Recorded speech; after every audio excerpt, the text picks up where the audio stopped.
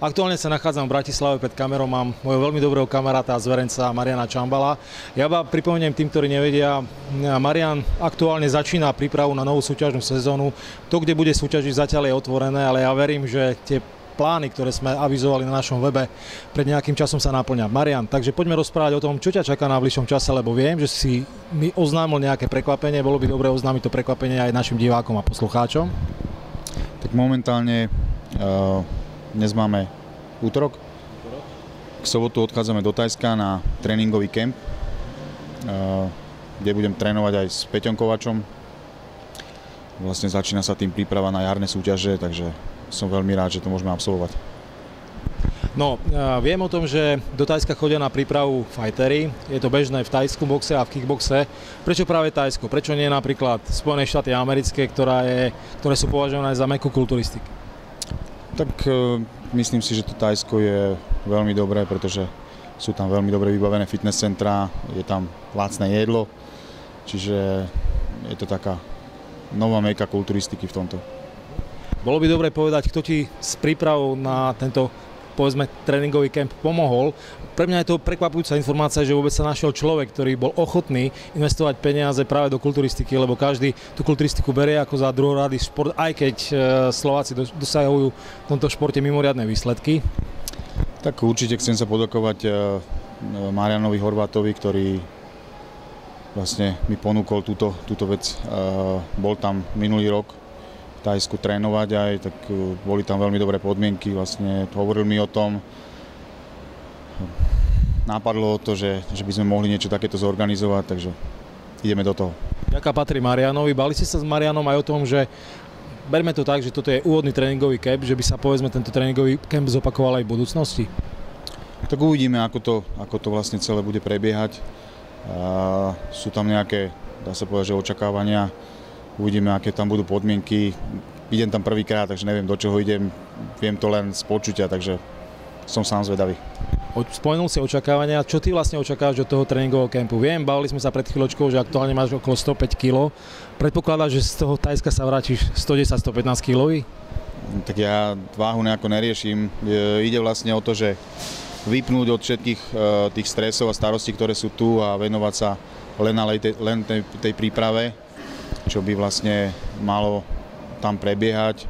Mm, tréningy budú nastavené dvojfázovo, jedlo, spánok, čiže maximálna regenerácia, uvidíme.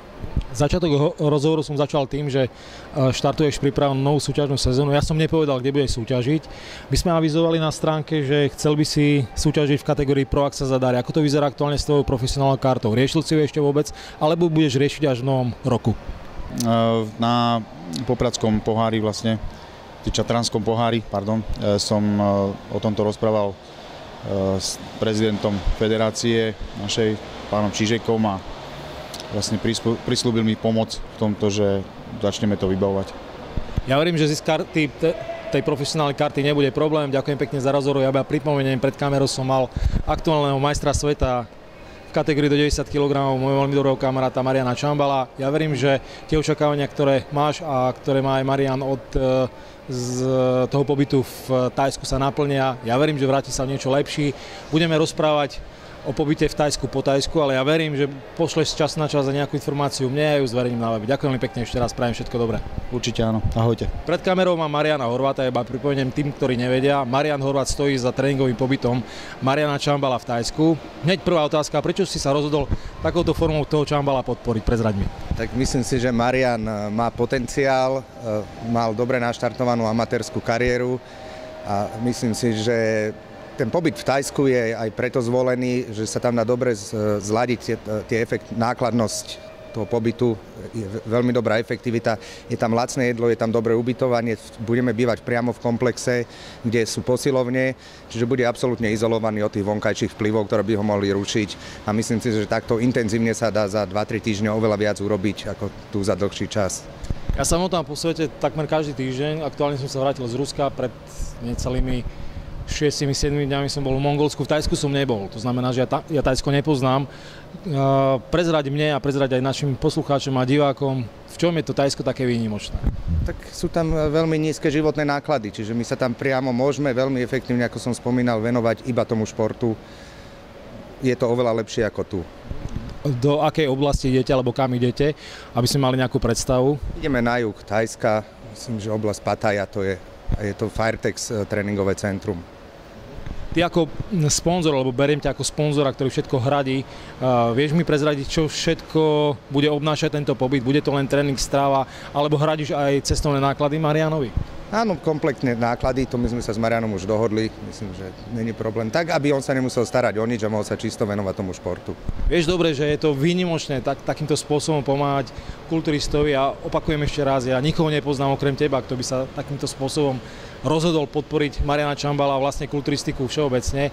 Pýtal som sa aj Mariana, či to je prvý a posledný pobyt v Tajsku.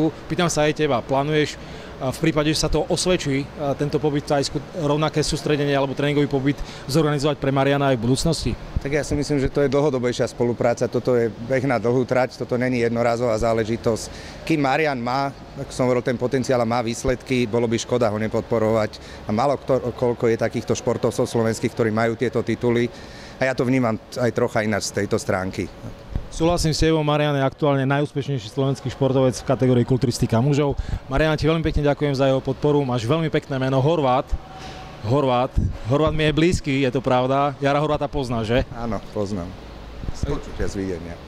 Ešte raz veľmi pekne ďakujem. Ja prajem vám všetkým, ktorí tam jete, aby ten pobyt dopadol podľa predstav, aby ste sa vrátili podstatne lepší, krajší, väčší a silnejší. Ďakujem, dáme vedieť určite.